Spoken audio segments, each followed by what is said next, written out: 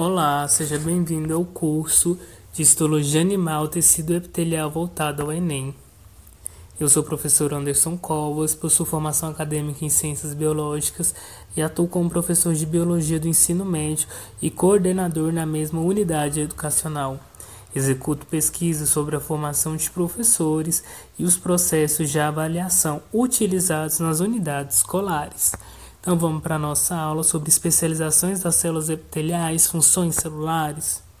As células epiteliais apresentam dois polos, um voltado para a superfície livre, o polo apical, e outro voltado para o tecido conjuntivo, que é denominado de polo basal. Então, o polo apical é uma superfície livre voltada para essa superfície livre e o polo basal é voltado para o tecido conjuntivo. No polo apical, de certas células epiteliais podem se diferenciações relacionadas à função que o epitélio desempenha. Então, as principais diferenciações são os cílios e os microvilos ou microvilosidades. Os epitélios que apresentam células ciliadas são genericamente chamados de epitélios ciliados. Esse tipo de epitélio é encontrado, por exemplo, na traqueia, onde o batimento ciliar desloca para o exterior do corpo muco com bactérias e partículas de poeira que aderiram a ele. E dessa forma que são eliminados elementos estranhos que podem, poderiam penetrar em nossos pulmões.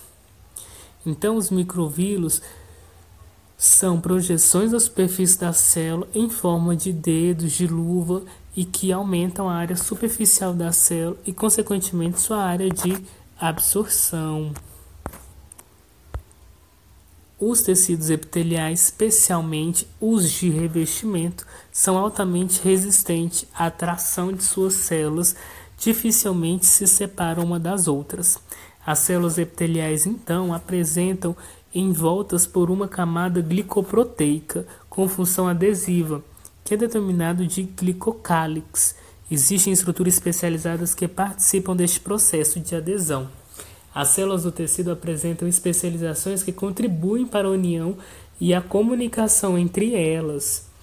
São estruturas presentes nas membranas plasmáticas em quase todos os tipos de tecido, porém mais abundantes nos tecidos epiteliais. Entre essas especializações estão junções celulares, cílios, estereocílios, microvilosidades e invaginações da membrana. Então a gente tem as junções celulares. Uma junção celular ou ponte intracelular é o tipo de estrutura que existe dentro do tecido de alguns organismos multicelulares, como os animais. As junções celulares constituem complexos multiproteicos que proporcionam um contato entre células vizinhas ou entre uma célula matriz extracelular. Então, pessoal, essas junções celulares são estruturas que promovem essa adesão entre as células epiteliais e vedam espaço entre células vizinhas. Em certos casos, algumas junções também formam canais que permitem a comunicação entre essas células. Em geral, as junções estão associadas a proteínas específicas que provocam reentrâncias, fusões e aderências entre as membranas das células vizinhas.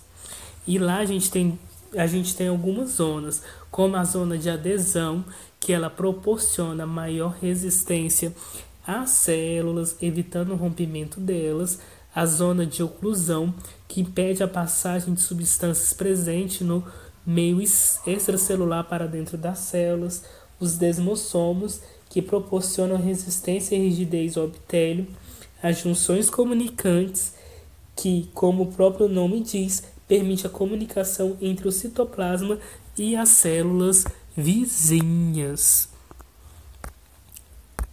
Além disso, elas também constroem a barreira para a célula do epitélio e controlam o transporte intracelular. As junções celulares são especialmente amudantes no tecido epitelial. As junções celulares são especialmente importantes para permitir a comunicação entre as células vizinhas através de proteínas especializadas, chamadas de junção GAP. As junções celulares também são importantes na redução do estresse colocado sobre as células.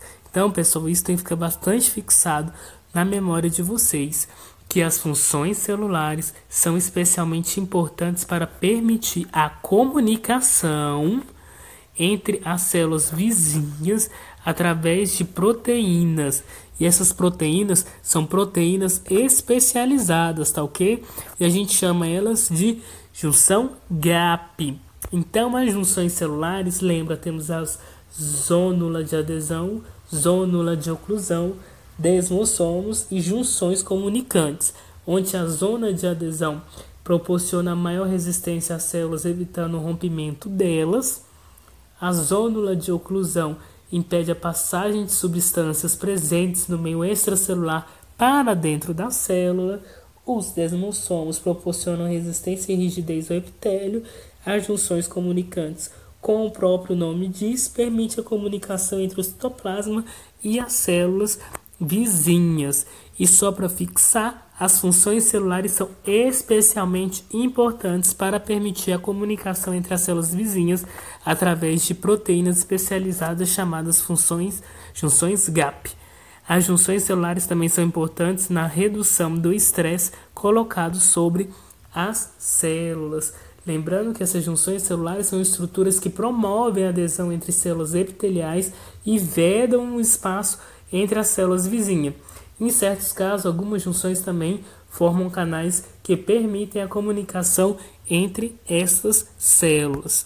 Então, pessoal, essa foi a nossa aula. Obrigado por assistir e estou te aguardando para a nossa próxima aula. Até lá!